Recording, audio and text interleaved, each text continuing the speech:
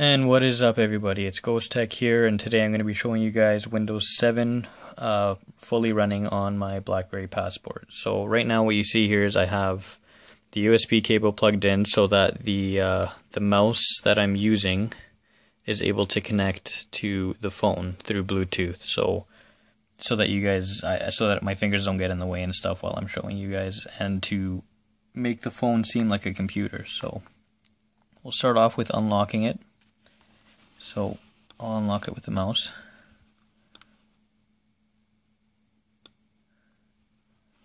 And then here it is. So this is Windows 7. This is the desktop. It works normal.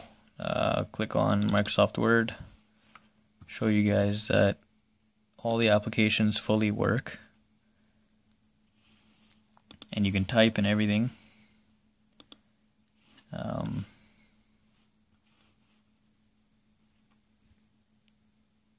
It's not wanting to zoom here. Here we go.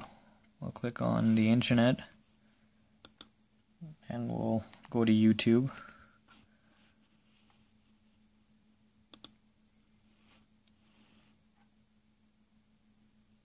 So yeah, you don't have to use a mouse on it. Like you can just use the on-screen mouse. So mouse pops up right there, and you just start moving around. And you can also have it act like a touchscreen, so you don't. Again, if you don't like this, if you don't like using a mouse or using the on-screen mouse, you can just use it as a touchscreen.